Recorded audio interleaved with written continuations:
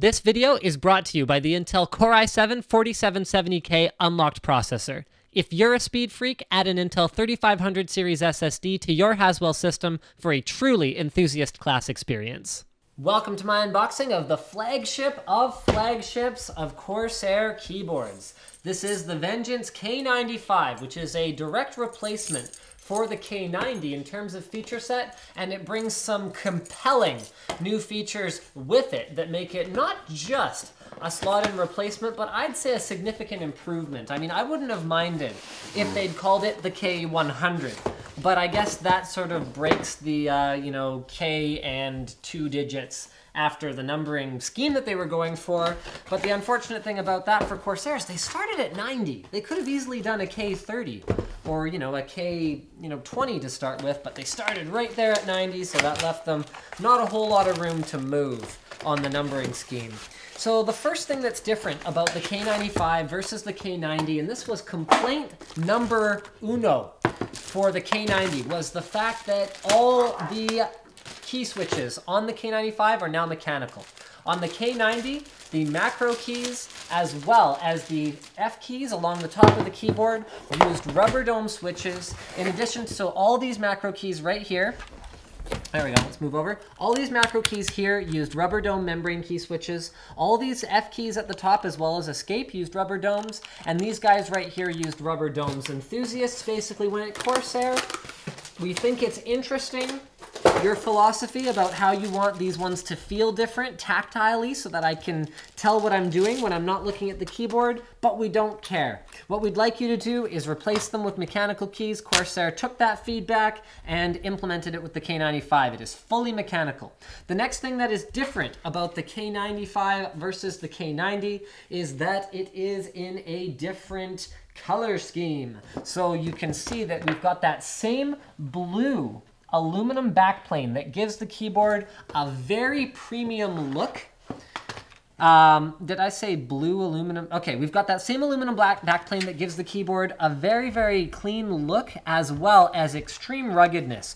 So Corsair keyboards have almost no flex. You can see how thick that piece of aluminum is that makes up the unibody construction of it that goes all the way down to, here we go, all the way down to the bottom of the where the wrist rest attaches and then all the way up to the top. It's very, very rigid. And another thing that Corsair does that's unique is they have an extremely high distance between the bottom of the keycap right here and the top of the backplane. And what this does is it gives them a very strong underglow effect because these keys, are individually backlit. So these LEDs are casting light not only through the keys themselves, and you can see there's varying brightness levels, three brightness levels, as well as off, but also down on the backplane itself that gives it a very, very, very, very cool effect. This is one of the things that I believe sold Corsair keyboards because it's a very unique look.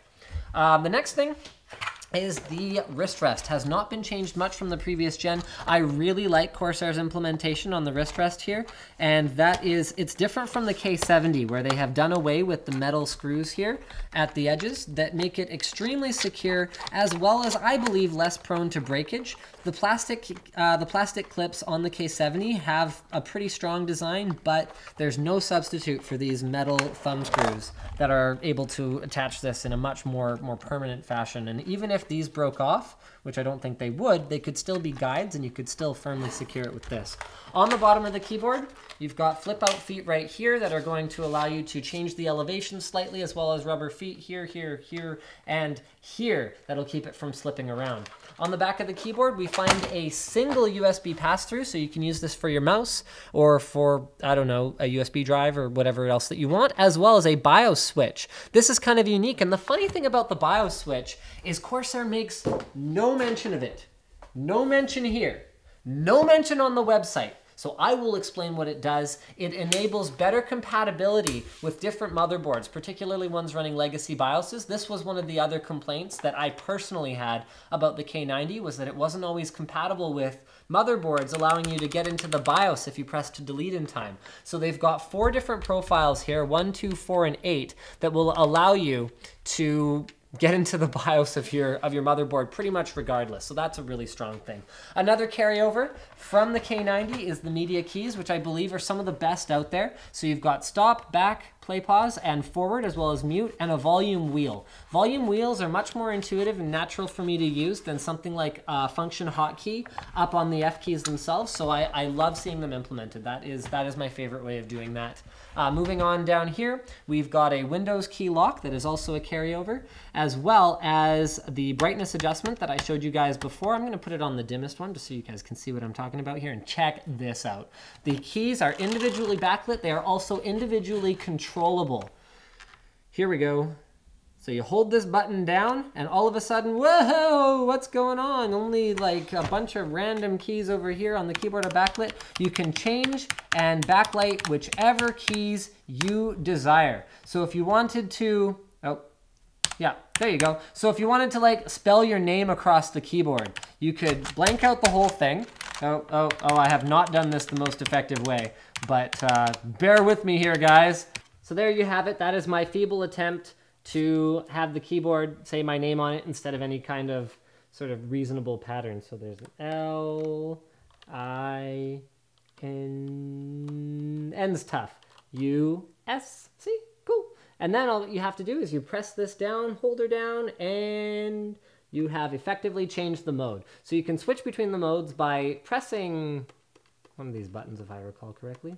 There we go. So by pressing this button, you can go full backlit, not backlit, and then using brightness adjust, you can turn the whole thing off entirely. Very cool stuff. All of the G programmable G1 to G18 keys can be programmed on the fly. You also have three different profile layers for each of them and that I think is pretty self-explanatory. Or you can use Corsair's gaming software in order to enable sort of a bunch of this functionality as well, if you don't prefer to program things on the fly. I think that pretty much wraps it up. Oh, right, and, ah, Cherry MX Red. So the K95 is still only available with Cherry MX Red switches because these are, according to sort of what Corsair would believe, although I'm not necessarily, well, I'm not a pro gamer, so that's part of the problem, but according to Corsair, for gaming, Cherry MX Reds are still the most optimal key switches because of their extremely light tactile response. So you, they are very light button presses as well as their linear switch fashion, allowing you to quickly and easily repeat the buttons in a way that you can't really do with the tactile switches like Cherry MX Blues. So while Blues might be more satisfying for typing, this is a gaming keyboard, so Corsair is going, well, you know what? We're going to deliver the best product that we think is most appropriate for gaming, and the typists can get K70s, which are available with other key switches as well. So this particular one, Cherry MX Red, and let's just see if I missed anything else. Guys, don't forget to leave a comment under the video. Let me know what you think of the K95. Let me know what you think of the unboxing of it. Uh, don't forget to like the video and share the video if you liked it. And don't forget to subscribe to Linus Tech Tips for more unboxings, reviews, and other computer videos.